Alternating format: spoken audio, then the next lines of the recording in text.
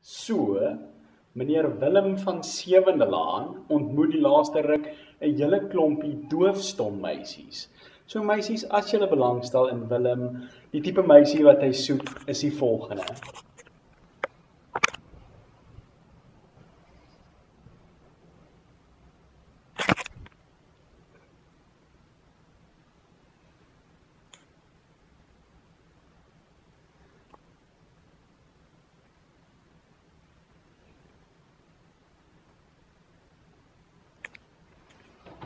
Praat nie 'n woord nie, sê nie 'n woord nie. Hulle seker gebore sonder tonge of die donder se duie weer die goed afgebyt. Maar as dit hoe jy is, hy is die ou vir jou.